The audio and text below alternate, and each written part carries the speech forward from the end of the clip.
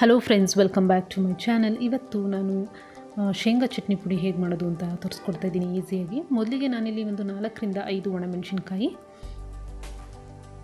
ಹಾಗೆ ಬಿಸಿ ಮಾಡ್ಕೋಬೇಕು. ಹಾಗೆ ಒಂದು ಸ್ವಲ್ಪ ಕರಿಬೇವು. ಇದನ್ನು ನಾನು ವಾಶ್ ಮಾಡ್ಕೊಂಡು ಒಣಗಿಸ್ಕೊಂಡು ಆಮೇಲೆ ಫ್ರೈ ಮಾಡ್ಕೊತಾ ಇದ್ದೀನಿ.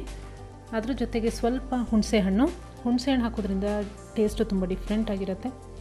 ಹಾಗೆ ಒಂದು ಕಪ್ಪಷ್ಟು ಇಲ್ಲಿ ಶೇಂಗಾ ತೊಗೊಂಡಿದ್ದೀನಿ ನಾನು ಕಡಲೆ ಬೀಜ ಇದನ್ನು ಸಹ ಚೆನ್ನಾಗಿ ಹುರ್ಕೋಬೇಕು ಈ ಥರ ಇದಾದಮೇಲೆ ನಾನೊಂದು ಮಿಕ್ಸಿ ಜಾರಲ್ಲಿ ಹುರಿ, ಹುರ್ಕೊಂಡಿರುವಂತಹ ಒಣಮೆಣಸಿನ್ಕಾಯಿ ಹುಣಸೆ ಹಣ್ಣು ಹಾಗೆ ಕರಿಬೇವು, ಹಾಗೆ ಅದಕ್ಕೊಂದು ಸ್ವಲ್ಪ ಬೆಳ್ಳುಳ್ಳಿ ಇಷ್ಟು ಹಾಕ್ಕೊಂಡು ಫಸ್ಟು ಮಿಕ್ಸಿ ಮಾಡ್ಕೋಬೇಕು. ನೋಡಿ, ಈ ಥರ ಆಗುತ್ತೆ. ಸ್ವಲ್ಪ ಹಾಕಿರೋದ್ರಿಂದ ಕ್ವಾಂಟಿಟಿ ಜಾಸ್ತಿ ಹಾಕಿದರೆ ಜಾಸ್ತಿ ಆಗುತ್ತೆ. ಇವಾಗ ಇದಕ್ಕೆ ನಾನು ಅರ್ಧ ಕಪ್ಪಷ್ಟು ಮಾತ್ರ ಶೇಂಗಾ ಹಾಕಿ ಮಾಡ್ಕೋಬೇಕು ಮಿಕ್ಸಿ ಮಾಡ್ಕೋಬೇಕು. ನೆಕ್ಸ್ಟ್ ಮತ್ತೆ ಉಳಿದಿರುವ ಅರ್ಧ ಕಪ್ ಹಾಕಿ ಸ್ವಲ್ಪ ಉಪ್ಪು ಸೇರಿಸಿ ಮಾಡ್ತಾಯಿದ್ದೀನಿ ನೋಡಿ, ಇವಾಗ ರೆಡಿಯಾಗಿದೆ ತುಂಬ ಚೆನ್ನಾಗಿರುತ್ತೆ ರೊಟ್ಟಿ, ಚಪಾತಿ ರೈಸ್ ಎಲ್ಲದಕ್ಕೂ.